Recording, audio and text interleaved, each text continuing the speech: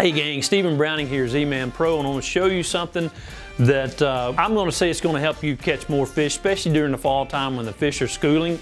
This is probably my deepest secret that I'm going to let out, a quarter ounce WillowVibes.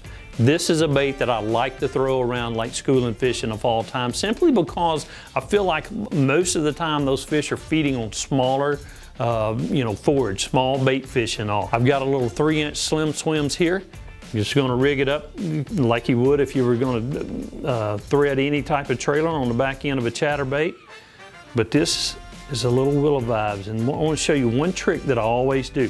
When you're trying to force this bait up here on the hook keeper, just pull it out away from the hook keeper and slide it up. And then it'll snug right up there to the head. That's very important little willow blade on this WillowVibes. It, it has a just a really really unique vibration to it a very finessey but also kind of a power fishing technique. Again with a Slim SwimZ three inch or if I want to kind of mimic a little bit bigger bait fish I'm gonna put it on the three inch MinnowZ. And again when you rig this thing up, when you get up there to the, to the wire keeper, just simply pull up on the back end, let it slide over the top, snug it in there nice and tight. Makes a really nice fit, a real slim profile, a little finesse power fishing, especially when those fish are schooling.